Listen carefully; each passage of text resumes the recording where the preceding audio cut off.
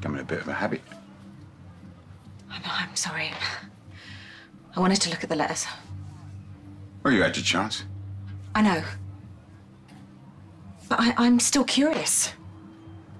I mean, why would someone run away like that and leave their kids? It just don't make sense. What are you suggesting? I don't know. Rose's disappearance was the most painful period of my life. You know that. You know how much I loved her, how broken-hearted I was when so, she left. so it was a happy marriage then. I've told you before, yes, it was.